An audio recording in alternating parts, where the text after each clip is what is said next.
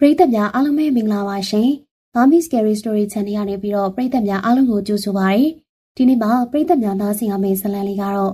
တေသူရဲ့ကလစ်စားဆိုတဲ့ဇာတ်လမ်းလေးကိုနားဆင်ရမှာပါ။ဇာတ်လမ်းလေးကိုတော့ကျမစုလိုက်ရတင်ဆက်ပေးသွားပါမယ်ရှင်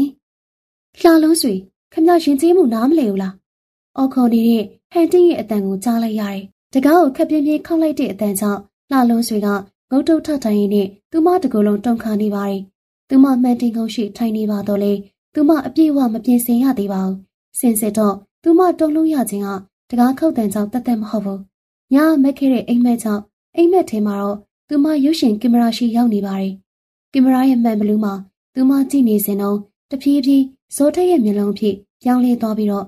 သူ့ရဲ့မျက်တောင်ခက်ပုံကစိတ်ရှုပ်စရာမြင်ကွင်းလောင်ပြောင်တက်တာသူ့ရဲ့ပင်ကိုယ်ဟန်ဒါပေမဲ့ဇောထက်ဟာသိဆုံးခဲ့ပြီ။ကံကြမ္မာဆိုးကိုပဲကြီးစုတင်ရမယ်။သူတည်ခဲ့တာ9နှစ်ကြာပြီးတော့ လှလုံးဆွေလည်းမိမိပြော့ပြော့ရှိနေပါပြီ။မိထားရင်လည်းအထူးစူးစမ်းပြီးမိထားပြီပဲလေအတိတ်မှာအရင်ရှိပုံရပါတယ်။သူမအလွန်တရာမောပန်းလာတာကြောင့်အောက်ထပ်မှာကျင်းပနေတဲ့ဧကန်ပွဲမှာလက်ထွင်လာချိန်မှာပဲခဏလီတော့ကိုဟန်ချင်းသူမကပြန်ထူးလိုက်တယ်။ဒါပေမဲ့တကားပွင့်သွားပြီးရှေ့ဆောင်ရုပ်ရှင်ထုတ်လုပ်ရေးမှာကြောင်ညာတောင်ဝင်ခင်ရဲ့ခန္ဓာကိုယ်တည်တည်လေးအခန်းထဲကိုရောက်လာတယ်။ဟန်တင်းရဲ့မျက်နှာဝိုင်းလေးကညကြီးကောင်ဒေါသထွက်ပုံပေါက်နေပြီးတော့ ခါထောက်ပြီးလှလုံးဆွေကိုစစ်စစ်ကြည့်လိုက်တယ်။ကောင်းပါပြီမင်းသမီးလှလုံးဆွေ။သူဟာဒေါသကိုထိန်းတဲ့အမုံအရာနဲ့ဆက်ပြောပြီးတော့တကယ်တော့အောက်မှာဧကန်ပွဲကျင်းပနေတယ်ဆိုတော့ခမမင်းနေလို့ဖြစ်မယ်။အထူးသဖြင့်စာနေစင်းအက်ဒီတာသမားတွေနဲ့အဆင်ပြေအောင်နေပါ။အရေးကြီးတယ်။အခုလိုဒီမှာလာရှောင်နေတာဘာမှအတိတ်ပဲမရှိဘူး။ခမရဲ့ပွဲဥထွက်ဂန္ဓဝင်ချစ်သူဟာအကြီးကျယ်အောင်မြင်ပါတယ်။ဒါပေမဲ့ခမမျက်နှာမပြဘူးဆိုရင် ကွန်လန်စာသတင်းတောက်တွေအဆင်ပြေမှာမဟုတ်ဘူးကျွန်တော်ပြောတာမကြခင်လုပ်ဖို့ပဲကျမလုံနေပါပြီကိုဟန်တင့်ပြောရင်းနဲ့သူမအားယူပြီးထားရလိုက်တယ်ဟန်တင့်ကိုသူမမနစ်သက်ပါဘူးဟန်တင့်ကလည်းသူမကိုမနစ်သက်ပါဘူးဒါပေမဲ့လိုင်ရောညီထွေစွာသူမပြောရပါတယ်ကျမပင်ပန်းနေလို့ပါဒါပါပဲဟာနမေကြီးတရုတ်ဆောင်ဆိုတာပင်ပန်းတာကိုအကြောင်းပြလို့မရဘူးအနုပညာရှင်ကိုပြည်သူကပိုင်နေပြည်သူဆိုတာသတင်းစာပဲသူကမနာရင်ပြောပါတယ် ရှင်တရားထွက်သွားရင်ကောင်းမယ်။လှလို့ဆိုရခက်ပြက်ပြက်ပြောပါတယ်။အမျိုးသမီးတူအဝတ်စားလဲနေတော့အချိန်ပေးတင်တယ်။သူမအတန်ကချိုတာပေမဲ့လေကြောက်စရာလေးတန်ပါနေတယ်။ဟန်တင့်ရုတ်တရက်မှင်းသက်သွားပါတယ်။ဟုတ်ရဲ့ရှုံထားနဲ့ပြစ်ထည့်လိုက်မယ်။လှလုံးဆွေကမှန်တင်ကုံပေါ်ကငွေရောင်ရုပ်ထုငယ်ကိုကင်လိုက်တဲ့အခါမှာတော့သူနည်းနည်းနောက်ဆုတ်သွားပါတယ်။အဲ့ဒီရုပ်ထုကတတ်တုနဲ့လှုပ်ထားတဲ့နတ်သမီးဘီနက်စ်အယုတ်အဲ့ဒါကို သူ့ရဲ့ကိုရေးမန်နေဂျာဟိမြင့်မောင်ကလက်ဆောင်ပေးထားတာပါ။နေပေါင်းလှလုံးဆွေ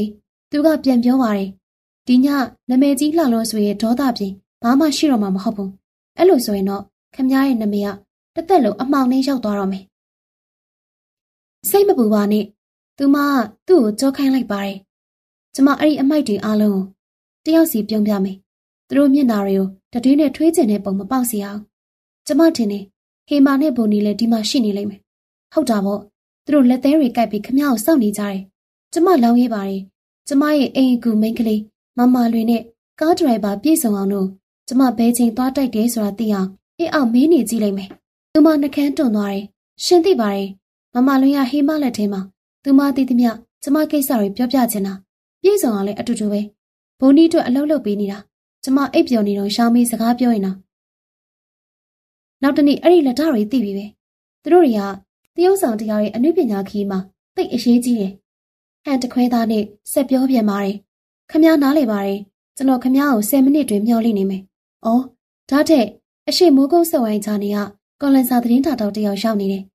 ။သူကခမည်းနဲ့အင်တာဗျူးခက်တူတူလုပ်ချင်နေတယ်။ယောက်ျားတိုင်းဆွဲမဲ့တဲ့အမျိုးသမီးတယောက်ရဲ့ခံစားမှုအကြောင်းပေါ့။ကျမသူ့အကောင်းဆုံးပြောလိုက်ပါမယ်။အခုတော့ကိုဟင်းမြင့်မောင်တောက်စရာတစ်ခုခုနဲ့လှုပ်လိုက်ပါ။အဲ့ဒါပြီးကျမဆင်းလာမယ် အကောင်းဆုံးအမူအရာနဲ့လာခဲ့ပါလူတသေးလေးကပြောပြောဆူဆူနဲ့အခန်းထဲကထွက်သွားပါတယ်လှလုံးဆွေကမှန်နေရရုပ်ပုံတတိချာချာငုတ်ကြည့်တယ်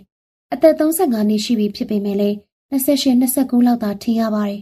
ဒါပေမဲ့လည်းယနေ့ညမှာတော့အသက်40နဲ့တူနေတယ်ဘာကြောင့်လဲဆိုတော့သူမအလွန်မောပန်းနေပါတယ်မိုးရွာတာဖျားတောက်လောက်အောင်ဆိုးသွားပြီးတော့ရှိုက်ကွင်းမှာထပ်ပြန်တလဲလေးရှိုက်ကူရတယ်ညနေဆောင်တဲ့အထိမနာရပါဘူး အဲ့ဒီဒုက္ခမကြခင်ပြီးဆုံးတော့မယ်။သူမစာချုပ်ချုပ်ထားတဲ့အတိုင်းဒီစတူဒီယိုအတွက်ဇက်ကားတွေစက်တိုက်ရှက်ပေးရပြီးတော့အခုဆိုရင်တော့သူမနဲ့ဟင်းမြင့်မောင်တို့ကိုပိုင်ကုမ္ပဏီထောင်ပြီးသူမစိတ်ကြိုက်ဇက်ကားတွေကိုရှိုက်ကူးရတော့မယ်။သူမ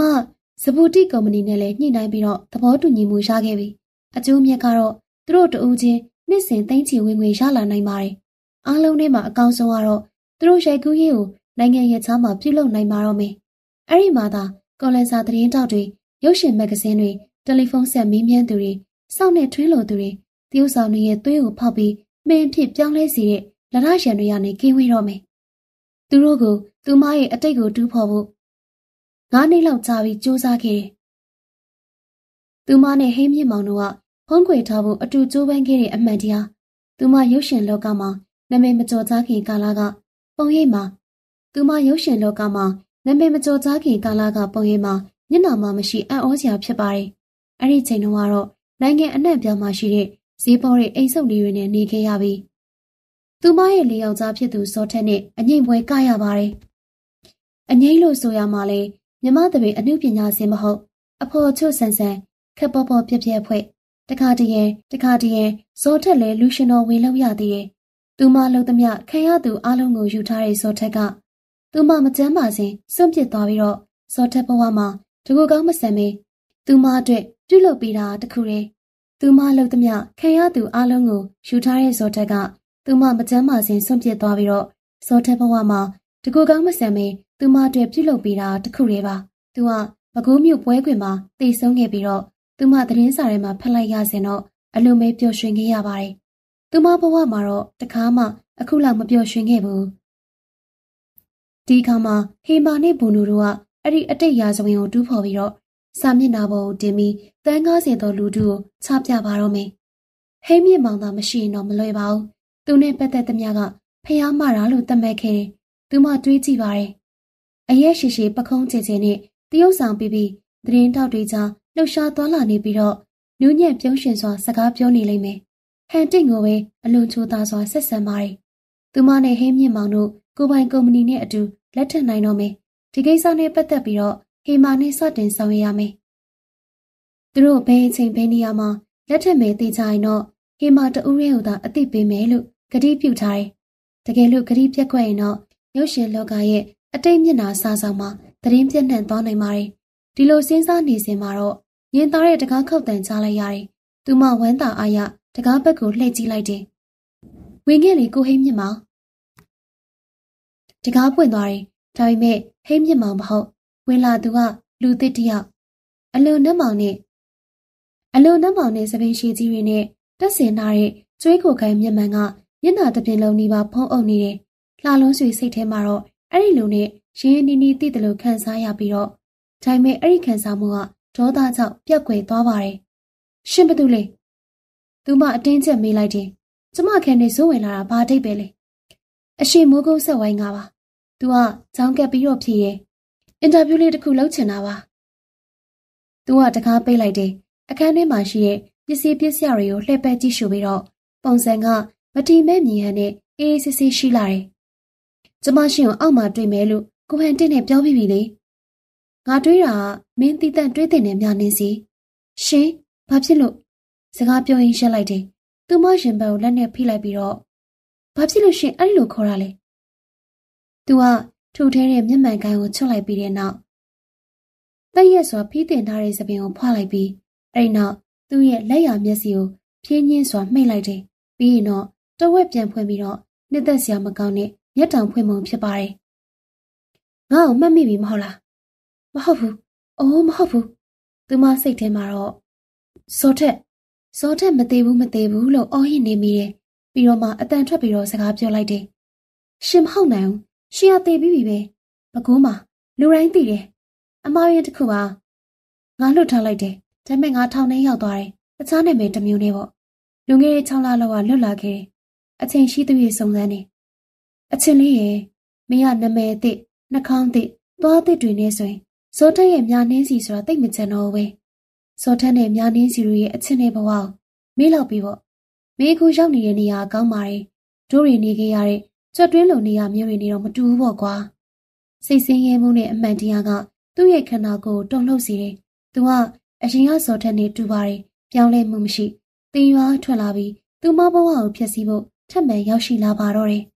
။ရှင်မလို့ချင်တာလေ။သူမအတန်ကိုကြိုးစားပြီးတော့ထိမ့်ပါတယ်။တကယ်လို့ငွေလိုချင်ကင်းကင်းရှင်းရှင်းနေဖို့နဲ့ကွာရှင်းပြည့်စဲဖို့သိန်း30ပေးမယ်။ ဘာကွာရှင်းရမယ်။ तू က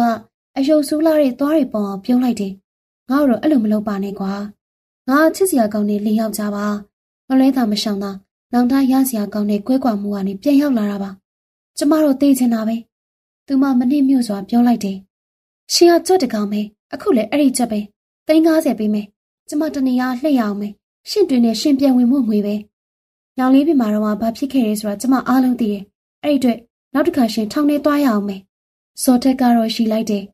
။တိတ်လေဒေါသမကြည့်ပါနဲ့။အခုဆိုရင်ထိတ်တန်းမင်းသမီးဖြစ်နေတဲ့လှလုံးဆွေဟာတချိန်ကတရုတ်ပြက်အငိမ့်မင်းသမီးညာနှင်းစီဆိုတဲ့ကြောင့်လူတွေဖက်ကြရလိမ့်မယ်။တက်တိုက်ဆိုင်ဆိုင်ပဲမင်းရဲ့အဖော်ချွတ်ဆန်ဆန်တပ်ပုံတပုံငါးစီမှာပါလာတယ်။အတင်းပြင်းမဂဇင်းတွေအကြိုက်ပေါ့။လှလုံးဆွေကမျက်စိကိုမှိတ်ထားလိုက်တယ်။စော်ထက်ကျမရှင်ကိုတတိပေးနေတာနော်။ ကျမနှုတ်ပိတ်ကောက်သိန်းတရာထိတိုးပေးမယ်။ရှင်ရနိုင်တဲ့လောက်ယူပြီးတော့သွားပြီးတော့ကျမမသိနာမလဲတဲ့မိန်းကလေးမဟုတ်တော့ရှင်ကျမကိုကြိုးကင်လို့မရတော့ဘူးစောထက်ကသူ့လက်တွေကိုကပတ်တွင်းထိလိုက်ပြီးတော့ပြုံးလိုက်တယ်။တိတာတဲ့ဟန်ဆောင်ပြုံးမှာ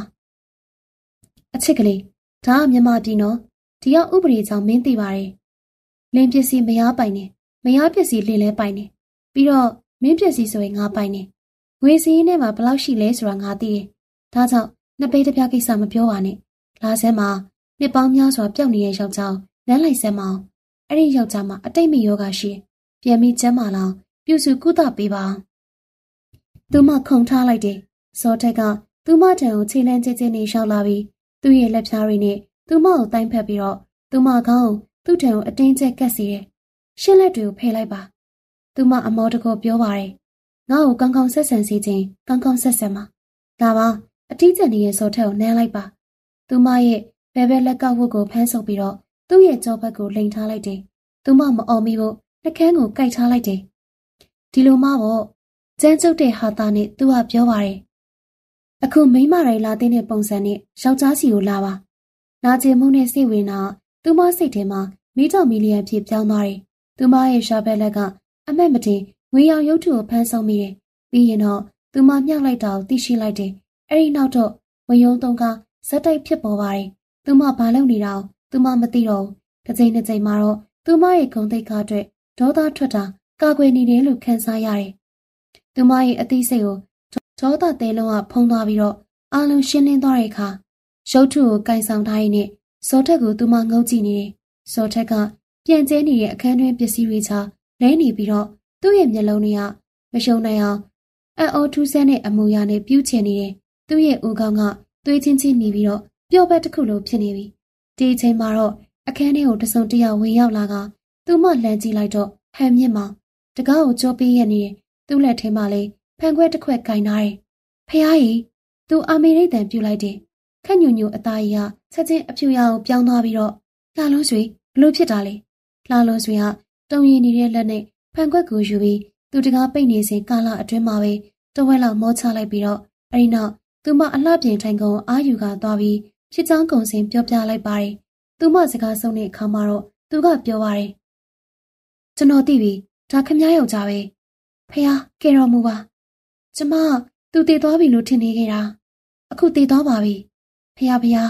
သူအခုတကယ်တည်သွားပြီတကယ်တော့ဒါကုကုကိုကာကွယ်တာပဲဒါပေမဲ့သူ့ကောင်းကိုရိုက်ခွဲဖို့အထိလိုအပ်သလားသူကကျမကိုအလွတ်ပေးမှမဟုတ်ဘူးကျမလည်းစိတ်ထိန်လို့မရအောင်ကျမထင်တယ် သူလဲမကြမချင်းကျမလည်းရှိုက်ပေးရှိုက်ရင်ပဲသိကြပါတယ်ကျွန်တော်နားလေပါတယ်ဒါပေမဲ့သတင်းတောက်ကောင်လေးတွေနားလေမလားမဟုတ်ရင်သူတို့ကခေါင်းစဉ်ကြီးကြီးတွေရေးကြမယ်ခမရဒေါသတွေလွန်ခဲ့လို့သူ့ကိုတအားရိုက်တယ်ဆိုတာမျိုးပေါ့သူကသဘောတကောင်ပဲသူကတီကိုငွေညစ်ဖို့ရောက်လာတာကျွန်တော်သိပါတယ်ကျွန်တော်မရောက်လာမချင်းသူ့ကိုထန်တားလိုက်ရုံလောက်ပဲလှုပ်တင်တယ်သူကလက်ကင်မောကထုတ်ပြီးတော့သူ့ခေါင်းကိုတုပ်ပါတယ်ဖះ မဲပေါက်တာပဲလှလုံးရွှေဟိမာတယောက်ကိုပဲစဉ်းစားပါခမရဲ့အတိတ်ကြောင့်လှုပ်ဝက်ချက်ထားတယ်ဆိုတာသိသူကလက်စားချေလိုက်မယ်သူကဇောထက်ရဲ့ဘက်ကနေပေးလိုက်မယ်ပြီးတော့တနာစရာကောင်းတဲ့ထောင်ထဲရလူကြောင့်ဖွဲ့နေရှိလိမ့်မယ်ခမရဲ့စွန့်ပစ်ခံရပြီးတော့ခမစီကိုဝစ်တွားပြီးတော့ပြန်လာနေတယ်အဲ့ဒီချိန်မှာဘာလုပ်လိုက်တယ်လဲသူ့ရဲ့အုံနောက်တွေထွင်အောင်ရိုက်ပြစ်လိုက်တယ်အဲ့ဒီသဘောဖြစ်အောင်သူမလုပ်မယ်ဆိုတာစဉ်းစားပါပြီးတော့တခြားသူတွေလည်းသူ့လမ်းကြောင်းအတိုင်းလိုက်ကြလိမ့်မယ်ကဲပါဦးကိုဟင်းမြင့်မောင် သူမသူ့ရဲ့လက်ကိုဖမ်းဆုပ်လိုက်တယ်ပြီးတော့မှဆက်ပြောတယ်အတိတ်ဘယ်ကအလုံးမဟုတ်လားကျမတို့ကုမ္ပဏီစပူထိတ်နဲ့ကျမတို့ရဲ့သဘောတူစာချုပ်ကျမတို့ရဲ့အနာဂတ်ပြီးတော့လူသိမှုအတွက်အင်းစိန်ထောင်မှာကာလတစ်ခုလည်းပါနိုင်တယ်။ဒါမှမဟုတ်ဒုတိယဒီဂရီလူသက်မှုတော်ဖြစ်နိုင်တယ်။ဟေမာတို့မီဒီယာတွေဘလောက်အစွမ်းထက်တယ်ဆိုတဲ့အပေါ်မူတည်တယ်။ထားလိုက်ပါအဲ့ဒီဆွဲဆက်တွေကိုပယ်ဖြတ်နိုင်တဲ့ထောင်ကျွန်တော်တို့ကုမ္ပဏီလက်ရှိအစီအစဉ်တွေနဲ့ တာလုံးဆွေရဲ့အမှုပညာခီညီကုန်းချုပ်ပေးပဲ။မဟုတ်ဘူးကိုမြင့်မောင်မဟုတ်ဘူး။သူမသူ့ရဲ့လက်ကိုသူမရဲ့ပေါင်းမှာကက်ထားပြီးမသက်သာတဲ့ခံစားမှုနဲ့ပတ်သက်နေပါတယ်။ကျမတို့လုံနိုင်တာတခုခုတော့ရှိရမယ်။သူ့ကိုဒီကဘယ်သူမှမသိဘူး။ဒီကိုနာမည်တူနေရောက်လာတယ်။ပြီးတော့ကော်လန်စာသတင်းတောက်လည်းမဟုတ်ဘူး။တကယ်လို့သူ့ကိုတနည်းနည်းနဲ့ဖယ်ရှားနိုင်ဟန်တင်းကလေစတူဒီယိုကိစ္စထောက်ထားပြီးကူညီမယ်လို့ထင်တယ်။သူကူညီရင်အဆင်ပြေနိုင်ပါတယ်။ ဟိမ်းမြင့်မောင်စဉ်းစားပါတယ်။ပြီးတော့ဆက်ပြောတယ်။မဟုတ်ဘူး။ကျွန်တော်သူ့ကိုရှုံကြည့်လို့မရဘူး။အကျိုးချောင်းသိပြီးတာနဲ့သူလည်းခေါင်းစဉ်တစ်ခုရှင်းနိုင်အောင်အမှန်တရားကိုပြစ်ပယ်လိုက်မယ်။ဟန်တင်းကဇလန်တပုတ်ရမယ်ဆိုရင်ဘာနဖူးတော်တိုက်တူးမယ်ကောင်ဒါဆိုကျမတို့ဘယ်လိုလုပ်ကြမလဲကျမတို့သူ့ကိုဒီဟာဖယ်ရှားလို့ရတယ်ဒါပေမဲ့မျှော်လင့်ချက်မရှိပါဘူးကျမတို့စောင့်ကြည့်နေကြရဲဆိုတာရှင်သိပါတယ်မမလွင်နဲ့ပြည့်စုံအောင်လို့လေကျမတို့လုပ်သမျှစောင့်ကြည့်နေကြတယ်ကျမသွားတဲ့နေရာတိုင်းမှာလေ ကော်လန်စာသတင်းတောက်တွေနဲ့ဓပုံသတင်းသမားတွေခြံထဲကနေခုန်ထွက်လာကြတယ်ဇော်ထက်ကိုဖယ်ရှားဖို့နေနေတသာလက်ဆွဲတစ်တာတစ်လုံးအခန်းထဲကထုတ်ပြီးလွတ်လွတ်လပ်လပ်ဖွင့်ကြည့်လို့မရဘူးကျွန်တော်သိပါတယ်ဒါပေမဲ့ကျွန်တော်တို့သူ့ကိုမြင်ကွင်းထဲကပျောက်သွားအောင်တော့အနည်းဆုံးလုပ်နိုင်ပါတယ်ပြီးတော့လှလုံးဆွေလည်းအောက်ဆင်းအောင်မေတစ်တာတစ်လုံးဒါမှမဟုတ်ထိတ်စရာတစ်ခုခုရှိလားနေရကက်ဗီဒီယိုထဲမှာရှိတယ်ရှင်းအောင်ဝစ်စာတစ်တာရှိပဲတစ်ချိန်တော့ကတော့ကျမမိခင်ရဲ့ပစ္စည်းမလို့ကျမတင်ထားတာ အဲ့ဒီထဲမှာဘာမှမရှိဘူးကောင်းနေအလှပြင်တာပြီးအောင်လုပ်လိုက်စောထက်ကိုကျွန်တော်တာဝန်ယူလိုက်မယ်သူမမှန်ပန်းမျက်နှာမိုးပြီးတော့ကတုံကရင်နဲ့မျက်နှာကိုလိမ့်ချင်လိုက်တယ်အိမ်မြင့်မောင်လှုပ်သမျှမှန်ထဲမှာမမြင်လိုတာကြောင့်ကိုကိုရှိကိုကင်ထားတယ်။သူမတစ်တာရွှေတန်ကြားရတယ်။အိမ်မြင့်မောင်ရဲ့အာယုံစိတ်တန်လည်းကြားရတယ်။သူမစိတ်ထင်တော့တစ်တာရှိစိတ်ကနေပိတ်သွားပါတော့တယ်။ဒီခါမှသူမလှည့်ကြည့်လိုက်တော့တစ်တာရှိကနယံကိုမိပြီးတော့ထောင်းရက်သားအခန်းထဲမှာစောထက်နေတကွ ရှုပ်ပွက်နေတဲ့အရာတွေအားလုံးမရှိတော့ဘူး။အဲ့ဓာတွေနဲ့အတူသွေးဆူနေတဲ့ရုပ်ထုလည်းမရှိတော့ပါဘူး။အိမ်မြင့်မောင်ကစီစီဆက်ဆက်တကြို့ပြန်ကြည့်တယ်။သွေးတွေလည်းမရှိတော့ဘူး။အိမ်မြင့်မောင်ကတစ်တာရှိကိုကြည့်ရင်းခေါင်းကြီးပြတယ်။ဇော်ထက်တော့ငင်းချစွာအိတ်ဆက်နေပါပြီ။သူ့ကိုထားပြီးလုံနိုင်တာတခုစူးစမ်းကြည့်မယ်။ဒါပေမဲ့ကျွန်တော်ထင်တယ်အိတ်ခံပွဲကိုရက်ဆိုင်လိုက်ပြီးရဲကိုခေါ်ရမယ်။ကျွန်တော်တို့ကုကုကူကာကွယ်ရေးရှောင်ရွေးချက်ပြီးနိုင်မှသိကြတယ်။အဲ့ဒါအလုံးရှုပ်တယ်ဆိုပေမဲ့ ပြီးချိန်နဲ့ပြီးသွားမှာပါ။ချာချာဆောက်လီပို့ဆိုးလီဖြစ်လိမ့်မယ်။မလုပ်ပါနဲ့မလုပ်ပါနဲ့ကိုဟင်းမြင့်မောင်ကျမရုပ်ရှင်လောကမှာထိတ်တန်းဖြစ်ဖို့စူးစမ်းရုန်းကန်ခဲ့ရတာဒီချင်းတွေကိုထိန်းချင်နေတယ်စော်ထက်ကြောင့်မပြက်စီးစေရအောင်အရှင်ကကျမဘဝကိုသူ့ဖြက်စီးခဲ့တယ်ခုတော့ထပ်ပြီးတော့လှုပ်လို့မရတော့ကျမတို့တခုခုစဉ်းစားရမယ်ကျမတို့လုပ်ကိုလုပ်ရမယ်ဒါဆိုရင်လည်းကောင်းပြီအောက်ထက်သွားပြီးမီဒီယာသမားတွေနဲ့တွေ့ကြရအောင်ပြီးတော့ပြုံးတော်လှလို့ဆွေပြုံးသူမ တိုးညင်းစွာရှိလိုက်တယ်မိမသားရဲ့ရှိတဲ့တိမ့်တိတ်တုံသွားပါတယ်အရှိမိုးကုတ်ဆက်ဝဲရတဲ့တောက်ဖဲမလေးတွေ့တွေ့ချင်းဟန်တင်းကမေးပါတယ်ကျမသူနဲ့စကားပြောလိုက်ပါတယ်အဲ့ဒီကြောင့်နေရှိဖို့သူအမျက်ပြေးပြီထင်တယ်ဟိမားလည်းစောက်ပိတ်မေးခွန်းမျိုးမေးပါတယ်အချစ်ကလေးဒီနောက်မှာရှင့်ကိုကြည့်ရတာဖြူရောနေတာပဲကျမထင်တယ်ရှင်တော်တော်အလုပ်များနေတာပဲလို့ဟိမားကျမအလုပ်ကိုကျမချစ်တယ်သူမရင်းနဲ့ဖြေလိုက်တယ်အဲ့လိုမှမဟုတ်ရင် အခုလိုဖြစ်မလာနိုင်ဘူးပြီးတော့ရှင့်ရဲ့မန်နေဂျာကိုဗမာလေးရှင်တို့နှစ်ယောက်ဘယ်တော့အသေးခံပြီးရှိတဲ့ခုံချမှာလဲကျမတို့လုပ်မယ်ဆိုရင်ရှင့်ကိုအရင်ဆုံးအသိပေးပါမယ်လှလုံးဆွေကရီမောရင်အခန်းထဲကိုလှည့်လေသွားတယ်မျက်နှာအလုံးကစောထက်ရဲ့မျက်နှာတစ်ခုတည်းမျက်လုံးတွေကလည်းစောထက်ရဲ့မျက်လုံးတွေကိုပဲသူမအချောင်းသိနေသလိုကြည့်ကြတယ်သူမရဲ့မျက်လုံးတွေကလည်း X-ray မျက်လုံးလိုမျက်နှာကျက်ကိုဖောက်ပြီးတော့အပေါ်ထဲတစ်တာရှိထဲမှာ ခွေခောက်နေတဲ့ဇော်ထက်ကိုမြင်အောင်နေမိတယ်။ဇော်ထက်ကဒုတိယကြိမ်တိတ်ဆုံးလျက်ရှိပြီးတော့သူမဘဝကိုဖျက်ဆီးဖို့ကြိုးစားနေစေ။ဒါတော့မှသူလှုပ်လို့မရနိုင်တော့ဘူး။လုံးဝမရနိုင်စီအောင်သူမအတွေ့တွေပြတ်တောက်သွားပြီးတော့အိမ်မြင့်မောင်ကသူမလက်မောင်ညှင့်လိုက်တယ်။စိတ်သက်သာရာနေပါလှလုံးဆွေမင်းသမီးကြီးရတာတစီတရေမြင်နေတယ်လို့ပဲကျွန်တော်သဘောပေါက်ပြီးလာလိုက်ခဲ့ကျွန်တော်ဥဆောင်နေတိုင်လို့ဟန်တင်ကတော့ ဘဒူုံနေကညကြီးကောင်းလို့ယူတော့မယ်ဟန်တင်ကတော့ဘဒူုံနေကညကြီးကောင်းလို့ယူတော့မယ်အေးမဆိုရင်ပို့ယူနိုင်တယ်ဒါပေမဲ့ကျွန်တော်တို့လုံနိုင်တာဒီတနည်းပဲရှိတော့တယ်သူမမေကုန်းမထုတ်ပဲသူ့နောက်လိုက်ခဲ့ပါတယ်သူတို့ကလေကားထိပ်ဖြာပေါ်မှာနေရာယူပြီးတကယ်လုံးအပေါ်စီးကကြည့်လိုက်တယ်ဟိမ့်မြင့်မောင်ရဲ့လက်ကသူ့မခါကိုဖတ်ထားပြီးဟန်တင်ကခါတီးရဲ့မျက်လုံးတွေနဲ့ရှက်နေပါတယ်အဲ့ဒီနောက်တော့စာရေးဆရာနဲ့တရုတ်ဆောင်သစ်တွေအားလုံးစုဝေးနားထောင်စင်မှာ မောင်းကိုအဆက်မပြတ်တီးလိုက်တယ်အဲ့ဒီနောက်အတင်းရက်ပြီးတော့အရှိတဝက်နဲ့စကားဆပြောရတယ်လူကြီးမင်းများခင်ဗျာကျွန်တော်မှခင်ဗျားတို့တွေတကယ်အံ့ဩစရာကောင်းတဲ့ကြီးညာချက်ရှိပါတယ်အဲ့ဒါကိုကျွန်တော်နေကျွန်တော်ဟန်နေပဲသိခဲ့ရပါတယ်ဘာလဲဆိုတော့လှလုံးဆွေနဲ့ဟင်းမြင့်မာကအခုလေးပဲစိတ်ဆုံးဖြတ်လိုက်ပါတယ်ဒါကြောင့်ပဲခင်ဗျားတို့ဒီလိုသတင်းပေးရတာပါသူတို့ကိုခွင့်လွှတ်စေချင်ပါတယ်သူတို့ဟာကျွန်တော်ဟင်းမြင့်မာကိုပဲပြောပြစေချင်ပါတယ် ဟင်းမြင့်မာကသူ့ရဲ့ခွန်အားကိုသူ့မထံပြီးရလားလှလုံးဆွေရဲ့လက်ကိုမြဲမြဲကင်ထားလိုက်တယ်မိတ်ဆွေများခင်ဗျာဟင်းမြင့်မာကစတင်နှုတ်ဆက်ပါတယ်ခိတ္တနာပြီးမှဆက်ပြောတယ်ခင်ဗျားတို့ကကျွန်တော်နဲ့လှလုံးဆွေတို့ရဲ့မိတ်ဆွေတွေဖြစ်ကြပါတယ်သတင်းတူကတော့ရိုးရိုးလေးပါလှလုံးဆွေနဲ့ကျွန်တော်တို့ပေါ့ဗျာချစ်သူတွေဖြစ်ခဲ့ကြတာကြာပါပြီအခုဆိုရင်လှလုံးဆွေကနာမည်ကြီးရုပ်ရှင်မင်းသမီးတယောက်ဖြစ်နေပါပြီဒါကြောင့်အချိန်ကျပြီလို့ကျွန်တော်တို့ဆုံးဖြတ်ကြပါတယ် ကျွန်တော်တို့လက်ထပ်ပါတော့မယ်ကျွန်တော်တို့ဒီညလက်ထပ်သွားပြီးတခြားမြို့မှာလက်ထပ်မယ်ကျွန်တော်တို့နဲ့အတူလိုက်ခဲ့ဖို့ဖိတ်ခေါ်ပါတယ်ကျွန်တော်စင်းလုံးကားထားတဲ့လေးအိတ်ကဆန်းတလောက်ပေါ့ကျန်တဲ့လူတွေကတော့ဒီမှာနေပြီးပစ္စည်းတွေသိမ်းမယ်ပြီးရင်ပြားရည်စက်ခီးစတင်မယ်နောက်ပြီးဒီမှာရှိတဲ့လူတွေအားလုံးရဲ့အကောင်းဆုံးဆန္ဒမွန်တွေရလိမ့်မယ်လို့လည်းမျှော်လင့်ပါတယ်။ဒီတခါတော့အတန်မျိုးစုံဆူညံသွားတယ်။အိမ်မရဲ့မျက်နှာကဒေါသကြောင့်နီးရဲသွားပြီးလူအုပ်ချားမှာသူမတန်လာနေတဲ့အခါမှာတော့ လှလုံးဆွေကသူမကိုသူမအာတင်ထားလိုက်ရတယ်။ဒါပေမဲ့ဘာဖြစ်လဲကိုဟင်းမြင့်မောင်ဘလို့ကြောက်လဲ။သူမတီတိုးမေးလိုက်တယ်။အိုးကျမဝမ်းသာပါတယ်။ဒါပေမဲ့ဘာကြောက်လဲ။ဘာဖြစ်လို့လဲဆိုတော့လှလုံးဆွေ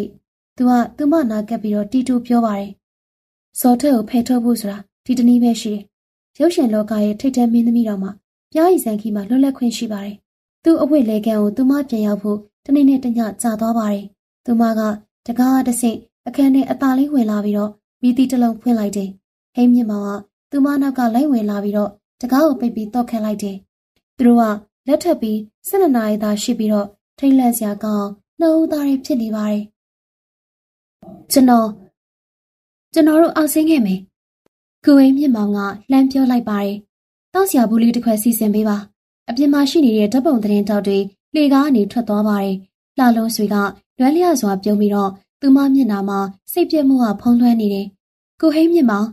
စိတ်အေးထားပါမင်းသမီး။ तू ကသူမကိုတိုင်ဖန်လိုက်တယ်။အစိုးဆုံးတွေ့ပြီးပါပြီ။ကျမဓာတ်ပုံဆရာတွေကိုပြုံးပြရအောင်မလား။ကျွန်တော်သိပါတယ်။ဒီလောက်ကောင်းတဲ့အမူအရာမျိုးတစ်ခါမှမရှိခဲ့ပါဘူး။သူတို့ကကျမကိုအားရပါရပြုံးမှုပြောတယ်။ကျမတော့တစ်တာရီယာစောထဲကိုစဉ်းစားမိတယ်။ဒါပေမဲ့ကျမပြုံးပါတယ်။ကိုဟင်းမြင့်မောင်ကျမပြုံးပါတယ်။သူမကောင်းတွေကမုန်းနောက်နောက်ဝေနာတက်တာတဲ့အထိသူမဖတ်ထားလိုက်တယ်။ ကျေးဇူးပါကိုဟင်းမြင့်မောင်ကျမတက်တာသွားပါပြီ။ကျမတို့အခုဘယ်လိုလုပ်ကြမလဲ။ကိုဟင်းမြင့်မောင်ကအခန်းထဲလှည့်ကြည့်လိုက်တယ်။မြမြောက်ဆဆတော့မရှိပါဘူး။မမလေးကခမားပစ္စည်းတွေထုတ်ပိုးနေတာကျွန်တော်တွေ့တယ်။ခုမှကျွန်တော်အိတ်လေအိတ်ကကောင်းလေးလာပို့ထားတယ်။ကျွန်တော်အပေါ်ဝေးကုတ်ဝင်းကြီးလမ်းပြမြေပေါ်လက်အိတ်တွေကင်မရာနဲ့နေကမျက်မှန်တွေအားလုံးစုံမိထင်တယ်။ပြီးတော့ဘိုးနီကိုခေါ်ဖို့မမလေးကိုပြောရမယ်။ပြီးတော့ခမားရဲ့ရှင်မောင်ကျွန်တော်စတေရှင်ဝက်ကုံကားမှာ ပစ္စည်းတင်ဖို့ပြောရမယ်။ကျွန်တော်တို့နောင်မလိုက်ဖို့ဟန်တင်ရဲ့ဂတိရထားတယ်။အဲဒီနောက်ကျွန်တော်တို့ဇောထက်ကိုဖယ်ရှားရမယ်။ဒီအချိန်တော့တကားခောက်တန်ကြားလိုက်ရတယ်။ဟန်တင်မှာလူချင်းမင်းတို့ဝင်ခဲ့ပါကူဟန်တင်ဟိမ့်မြင့်မှာပြောချရင်တကားဖွင့်ပေးလိုက်တယ်ဟန်တင်ကတကားဝနာမှာခိတ္တရှနာပြီးတော့သူကတယုံပြုံးပြုံးနေပါတယ်။အဲဒီနောက်တော့သူကြီးကတကန်းလုံးကိုရွေရှားသွားတယ်။ကောင်းပါပြီ။ခမတို့နှစ်ယောက်ကအချင်းငယ်ငယ်ပေါ့။ ကြားရည်စံခီးအတွက်အားလုံးအစင်သင်းဖြစ်ပြီပဲ။ဟုတ်ပါတယ်ကိုဟန်တင်ရင်။သူမကလည်းငေါတော်တော်လေးတန်းနဲ့ပြောပါတယ်။ကျမတို့အတွက်အသေးစိတ်ဆောင်ရွက်ပေးတာကျေးဇူးတင်ပါတယ်။ရှင်ကတိတ်ချစ်စရာကောင်းတဲ့ကျမတို့ရဲ့မိတ်ဆွေပါ။ရပါတယ်ဗျာ။လှလုံးဆွေရဲ့နူးညံ့သိမ်မွေမှုကသူ့ရဲ့စောက်တီကမရတဲ့ဒေါသကိုတားဆီးနိုင်ပုံရပါတယ်။ဒါတော့သူကအထွန်းတက်လိုက်ပါတယ်။ကျွန်တော်တခုတော့တောင်းဆိုပါရစေ။ခင်ဗျားတို့ဘာမဆိုကျွန်တော်ကိုအသိပေးပါ။ဒါမှဒီလားအတွက်စဆောင်တိုင်းမှာဇလန်းကောင်းတွေပါမှာပေါ့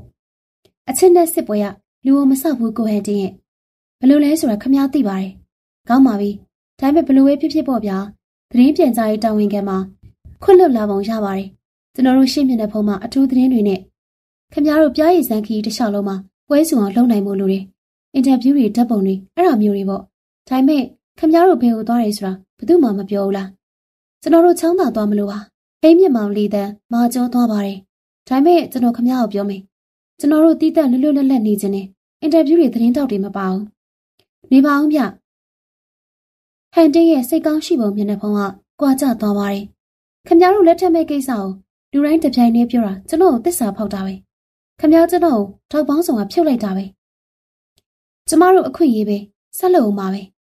လာလို့စီရဲ့အတန်တင်းမာသွားပါတယ်ဟောလီဝုဒ်မှာတော့ကြားရည်စံခီးဆိုတာလွတ်လပ်ပါတယ်ကျွန်တော်ကခင်ဗျားတို့လက်ထက်ပြီးပထမနေ့မှာ တူဦးတဲ့တည်င်းယူရမယ်လို့အိမ်မောင်တည်င်းပေးထားတယ်ခင်ဗျားတို့တစ်သက်လုံးသူမရဲ့အသေးတွေကနေမုံသွားစီခြင်းသလားခင်ဗျားတို့ထောင်မဲ့ကုမ္ပဏီကိုရောပေါ့ဒီမှာဟိမ့်မြင့်မှာပြောလိုက်ပါတယ်နှစ်ရက်တည်းကျွန်တော်တို့48နိုင်အချိန်ပေးပါကျွန်တော်တို့လွတ်လွတ်လပ်လပ်ကြည်နူးဘူးချင်ပါတယ်အဲ့ဒီနေ့နှစ်ရက်လဲဟိမတယောက်သာသိစီရပါမယ်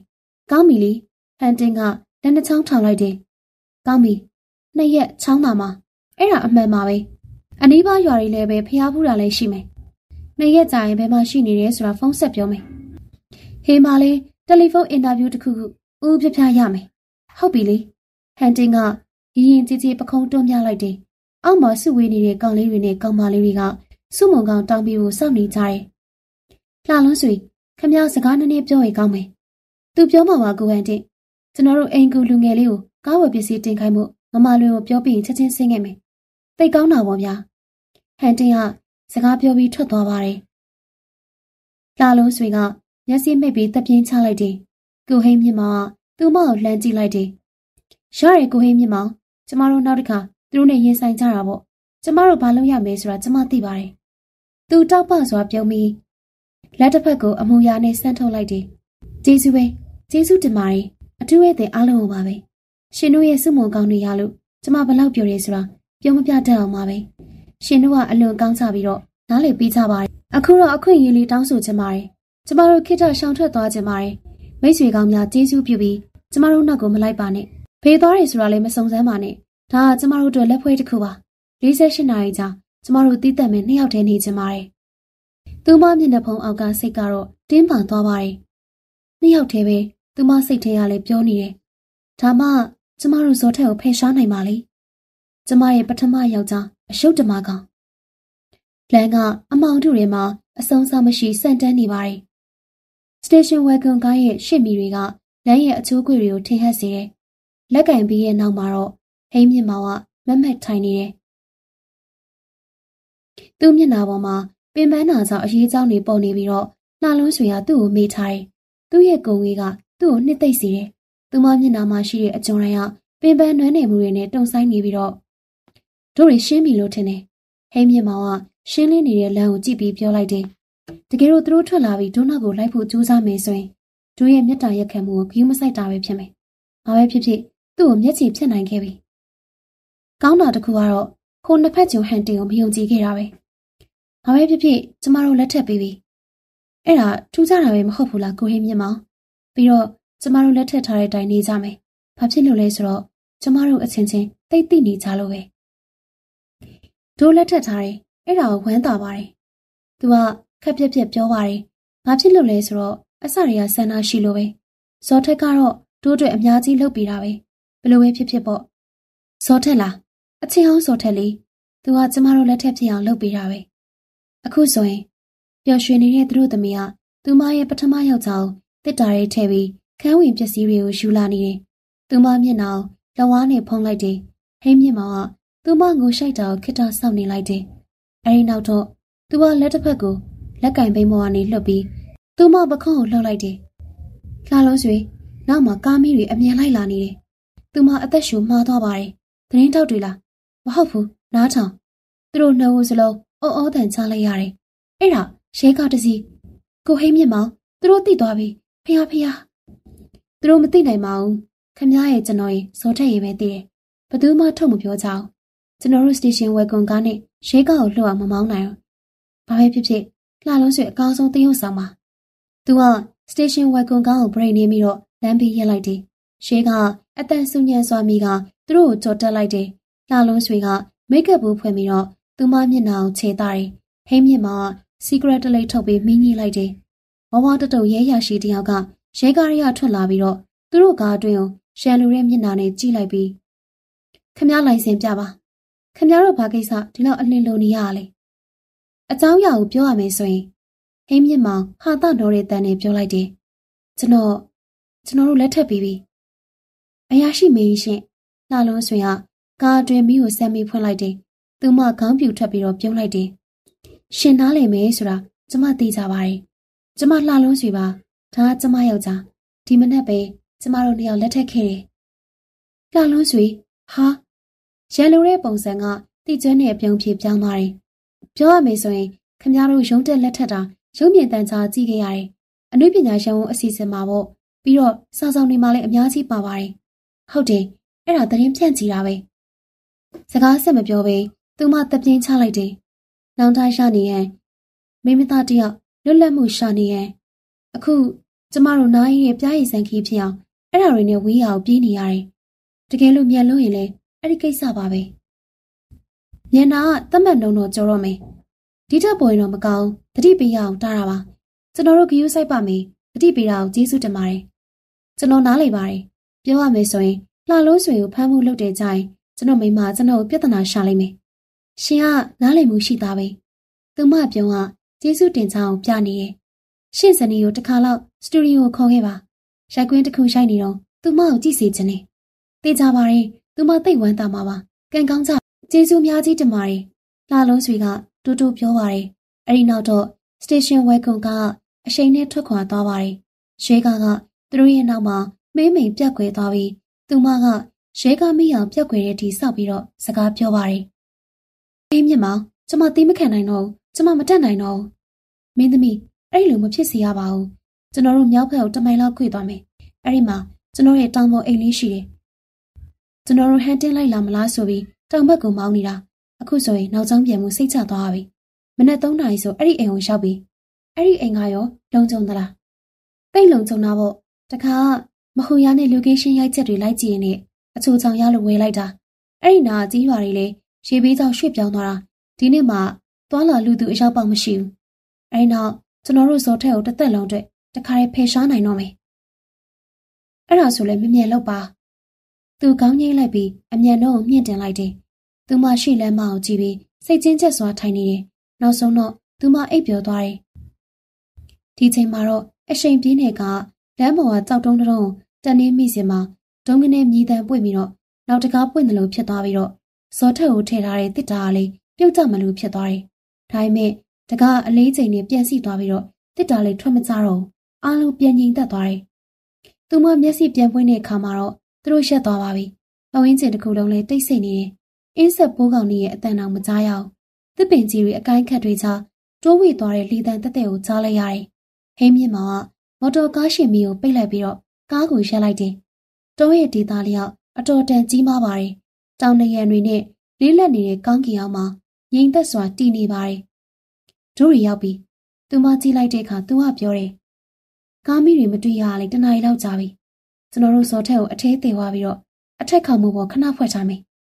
။နောက်တနေ့အဆင်ပြေသလိုအနီးနားမှာမြုပ်လိုက်မယ်။အိမ်ကိုလည်းကြကြတော့ခက်ထားလိုက်မယ်လေ။ဒါဆိုဇော်ထက်ကိစ္စအေးဆေးဖြစ်သွားမယ်။ဖះမှာတာပဲ။ကျမအမြဲတမ်းစိုးရင်နေတာဇော်ထက်ကကျမဘဝကိုဖျက်ဆီးဖို့အမြဲတမ်းနီးလန်းရှာနေတာ။ဇော်ထက်အတွက်စိတ်မပူပါနဲ့။ဟိမ့်မြင့်မှာမတော်ကားရထွက်ပြီးနောက်တကားဖွင့်လိုက်တော့ဒီမှာသူကပဲစကားဆက်ပြောတယ်။ဘာပဲဖြစ်ဖြစ် ကျွန်တော်တို့အနက်ခံကောင်းတဲ့သတင်းတောက်တွေရဲ့နှာခေါင်းကထွက်လာနိုင်တာဝမ်းသာတယ်။အနေနဲ့မှာတော့ကျွန်တော်ဇော်ထက်အကြောင်းရုပ်ရှင်ရရအောင်မယ်။မဟုတ်ဘူးကိုမြင့်မောင်ဒီအကြောင်းစကားဖြစ်တောင်မပြောပါနဲ့။ကောင်းပြီကျွန်တော်မေးလိုက်ပါမယ်လေ။ဒီမှာအိမ်ထဲဝင်မှုတော့ရီကျွန်တော်ဇော်ထက်ကိုတင်လာခဲ့မယ်။ခမရရှေ့ရသွားပြီးတော့မိတွေဖွင့်လိုက်။သူတစ်တာရှိကိုဖွင့်လိုက်တယ်။သူ့ရဲ့အားစိုက်တန်ကိုကြားလိုက်ရတယ်။ဒါပေမဲ့သူမနောက်ကိုလှည့်မကြည့်ဘူး။မျက်လုံးတွေကမကြည့်ရဲဘူး။သူမအိမ်စီကို ကြောက်ခင်းလန်းတိုင်သွားပါတယ်။နောက်မှာတော့သူ့ရဲ့ခြေလမ်းတွေကနှေခွေပြီးလေးလက်နေပုံရတယ်။သူမတစ်သားလီကအတိုင်းအိမ်မော်ကိုတက်ပြီးတော့အိမ်မြင့်မော်ဝင်လာချိန်တော့သူမ